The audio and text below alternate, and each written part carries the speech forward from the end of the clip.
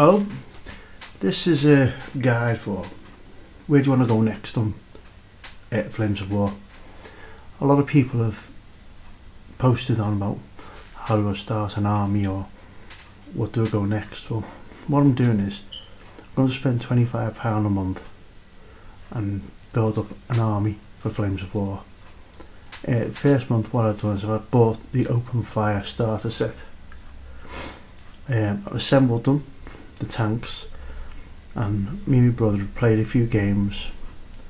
And then the next question is where do I go from there?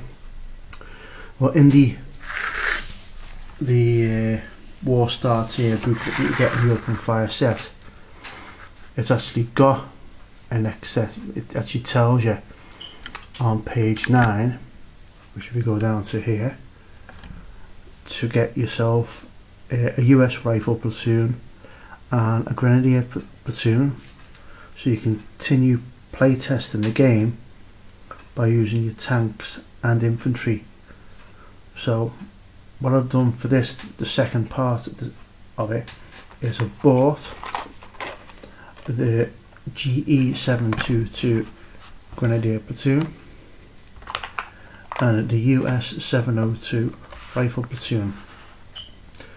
So what I'm going to do over the next month, I'm going to assemble these figures, uh, play them with the tanks, a few period games, and then at the end of the month I will assess how I've got on and decide what my next purchase is going to be. Thanks for listening.